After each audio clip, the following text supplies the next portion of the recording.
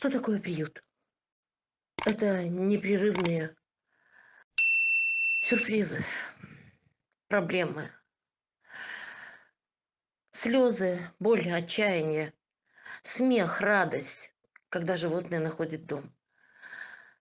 И это настолько закручено, настолько все перемешано, что иногда даже ловишь себя на том, что, господи, я ведь только что кофе попила, а уже час ночи, уже пора спать. Ребята, день настолько быстро пролетает, настолько все кипит и настолько заморачиваешься, что реально не успеваешь даже отвечать. Вот этот ролик – это опять кошки. Несчастный кот, который попал в капкан, или не знаю, что с ним случилось. Но лапа медленно усыхала. И пол лапы у него мертвый. Он опирается на эту лапу, как на костыль.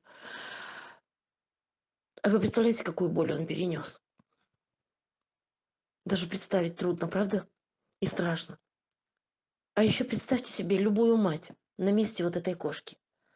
Ее пожалели наши дети. Еще не озлобленные, еще верящие во что-то доброе, хорошее. Они пожалели ее и разместили ее в подъезде.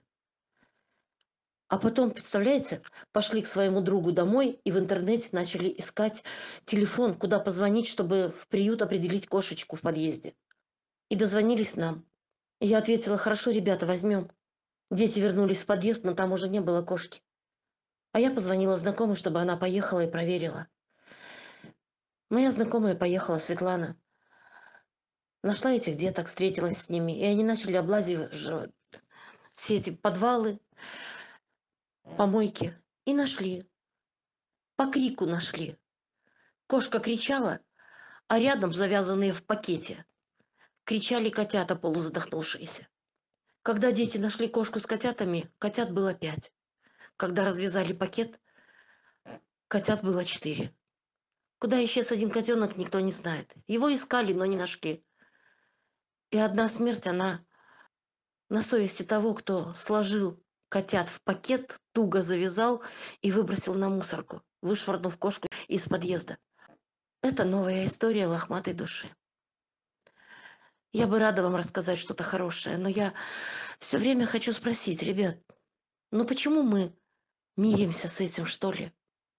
А еще очень хочется, чтобы друзья оставались с приютом настоящие чтобы не бросали нас, чтобы в жизни не происходило. Как много, ребят.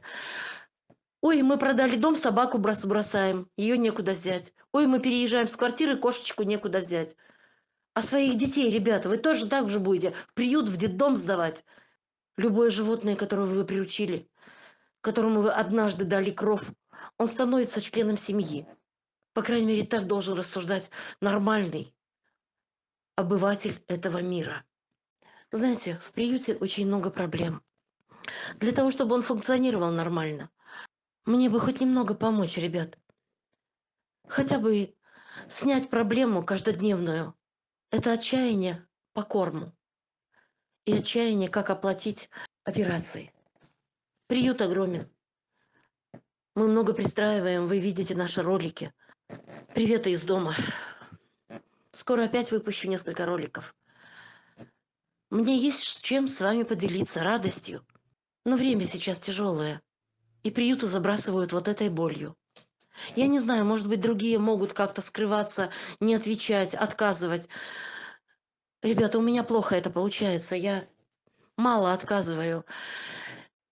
Я готова взять всех, если бы мне помогали. Но помогает очень малая часть наших подписчиков. А в последнее время это вообще что-то страшное стало. Нам не хватает ни на корм, ни на вывоз мусора, ни на стройку, ребят. А природа словно в наказание еще бьет и бьет. То потопы, то снег с градом, то вихри. У нас нет ни стройматериалов, ребят, чтобы как-то защититься. У нас с натяжкой еле-еле хватает корма. У нас нет сейчас денег на прививки для малышей. У нас нечем заплатить за свет. Все упирается в финансы. Не знаю, мои хорошие. Я... Я вновь призываю вас не сдаваться. Не сдаваться, ребят. Я обращаюсь ко всем, кто заглядывает на нашу страничку. Ведь зачем-то вы к нам зашли. Значит, вы неравнодушны. И пусть даже один раз, но поделитесь с нами немножечко. Переведите нам 100 рублей, пожалуйста.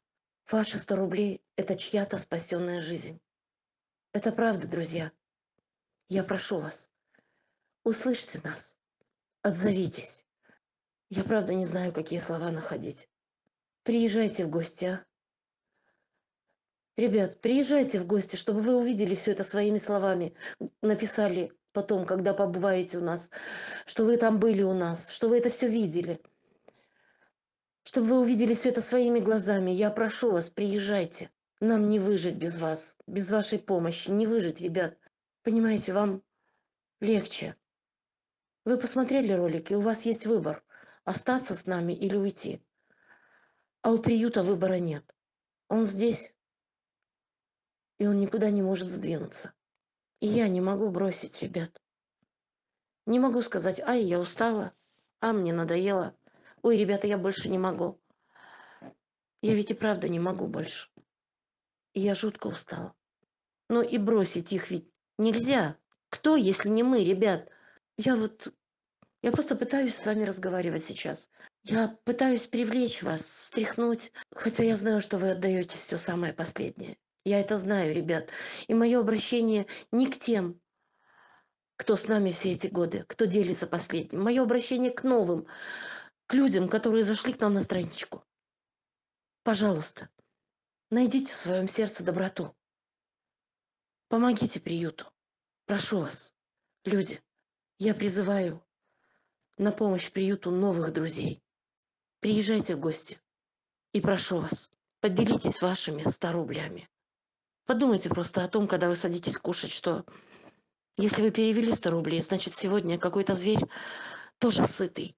Прошу вас, люди, давайте помнить о человечности, о милосердии. Давайте помнить о том, что мы настоящие люди. Есть же у нас что-то хорошее, доброе, правда? Какие бы проблемы нас не окружали, ребят, перевести с любого телефона 100 рублей на приют.